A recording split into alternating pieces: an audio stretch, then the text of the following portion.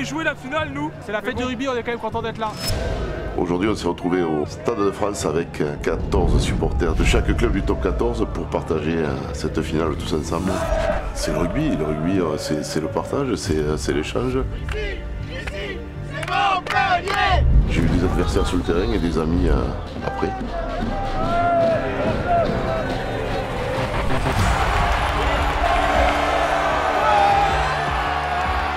Moi je m'appelle Cyril, je suis supporter du Castre Olympique. Lui c'est Swan, il est supporter de l'USAP et c'est mon fils. C'était un moment important euh, de ma vie d'échange avec mon fils euh, aujourd'hui.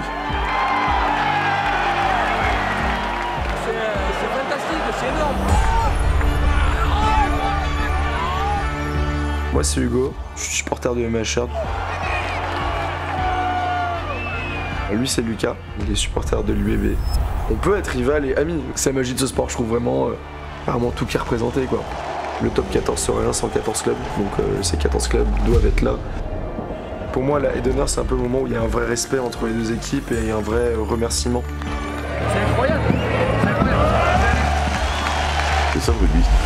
C'est euh, malgré la défaite, fêter ensemble le vainqueur. Clairement j'étais un gosse. Là vraiment tu te dis en mode mais je, je vis une expérience de dingue quoi.